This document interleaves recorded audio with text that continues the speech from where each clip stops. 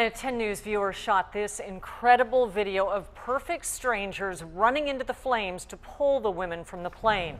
10 News reporter Candace Crone just spoke to the man who shot that video. And Candace, he had just gotten off work when the plane crashed. That's right. The man was leaving his job at that AT&T yard across the street when he saw the smoke and immediately ran over to this parking lot to try and help the two women inside of that burning plane. He said several witnesses put their lives in danger to jump in and help. Thick black smoke billowed from the fiery plane as a Good Samaritan bravely risked his life to pull the passenger out of harm's way. I didn't think that there was a lot of hope for her. She was unresponsive, not moving, not breathing it was pretty bad.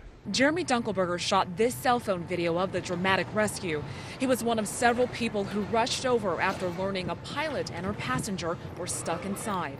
There were five, six, seven people that were right there on top of that burning plane with little fire extinguishers. People were uh, assessing wounds and cutting off clothing and putting pressure on things. Dunkelberger says he knew he had to rush over and help after seeing the pilot trapped inside the plane and was yelling for someone to help her. I said, we've got to get you out of here. And she said, well, my leg's broken. It's broken really bad. I said, I understand. I know that, but we've got to get you out of here.